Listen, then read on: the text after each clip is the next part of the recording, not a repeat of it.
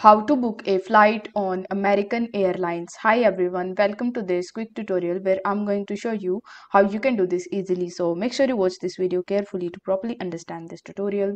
First of all, you need to launch any of your browsers that you're currently using in your PC or in your mobile device and in the search bar you simply need to type aa.com.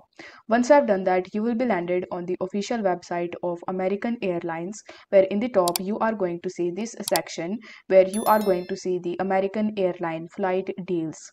So over here in the first section, you will have to select the round trip or one-way trip and after that you will have to select your travel class such as economy or business or first class and after that you will have to choose the passenger type.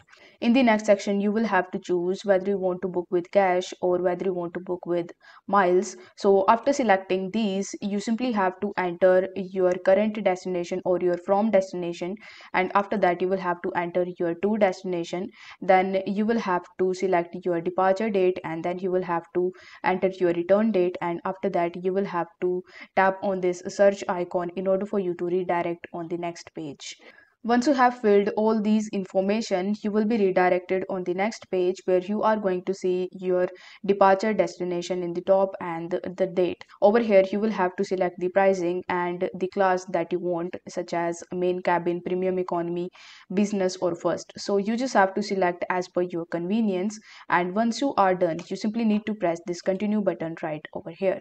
After doing so, you will be redirected on this passengers page where you will have to enter your details such as your title, your gender, first name, middle name, last name, date of birth, loyalty program, loyalty number, redress number and known traveler number.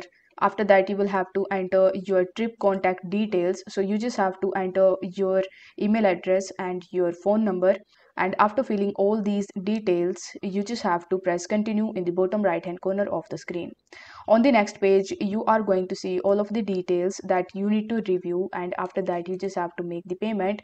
And as soon as you make the payment you are going to see the receipt in your account. So this way you would be able to easily book a flight on american airlines. I hope this video was helpful. And if it was then please consider liking this video share it with your friends and subscribe to my channel Thank you so much for watching.